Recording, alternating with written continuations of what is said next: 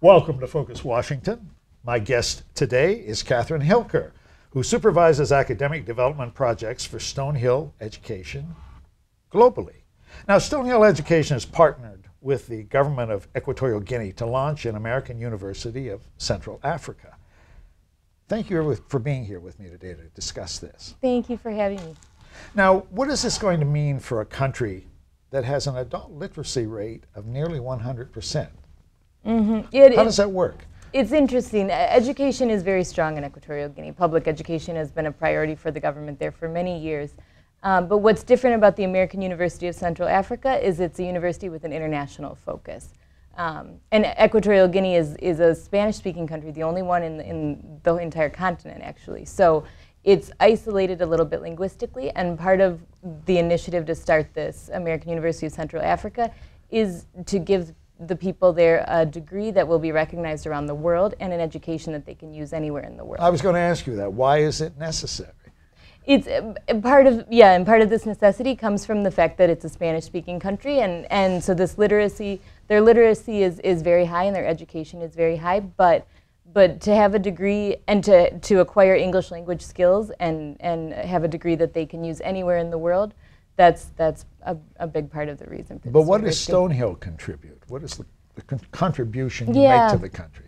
Well, the, the, I think the biggest the, this this project is very very ambitious from the beginning, and um, to to have an, an, a university in Central Africa of international standards of international quality. It's a very very exciting project, but a very ambitious one at the same time. And what Stonehill brings to the table, among other things, but what um, is the the international focus, the international recognition. So we have partnerships with international universities. Um, we have the ability to recruit faculty and staff from all around the world. Um, and, and we are seeking international accreditation both in the US and it, with European accrediting bodies. So those, among other things, are some of the ways that, that Stonehill Education is helping the people of Equatorial Guinea. What kind of specific courses will you be offering?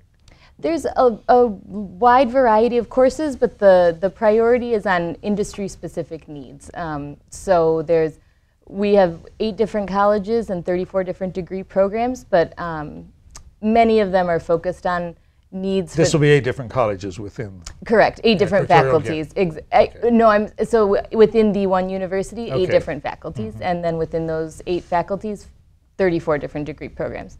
Um, so everything from arts and sciences to engineering and chemistry, science, all kinds of different degrees. But but the main focus on it is on industry needs. What's it been like working with the educational ministry there? On this? It's it's been really great. It's been very rewarding. I think we've uh, we're in constant contact with the Ministry of Education as well as other ministries in Equatorial Guinea, um, just all trying to work together to realize this amazing project. Well, will this help? The, I know Equatorial Guinea has been looking for investment in Africa and mm -hmm. well in the continent in itself. How will this help? At Stonehill Education, we've been working with um, the private sector, private sector, including international companies that are already present in Equatorial Guinea, and what we've been hearing from them from day one is that there is a big a lack of skilled labor in the country um, that they need in their specific corporations. So the American University of Central Africa, I think, will help fill this gap, will help support these international corporations that that want to work with local labor, but that want to want to use um, local work workers, but um, but you know to help fill the gap in the skill. So there will be an outreach outside of Absolutely. Equatorial Guinea, so on a wider basis. Exactly. Mm -hmm. Thank you very much for being here. Thank you for having me. I'm Chuck Conconi. This has been Focus Washington.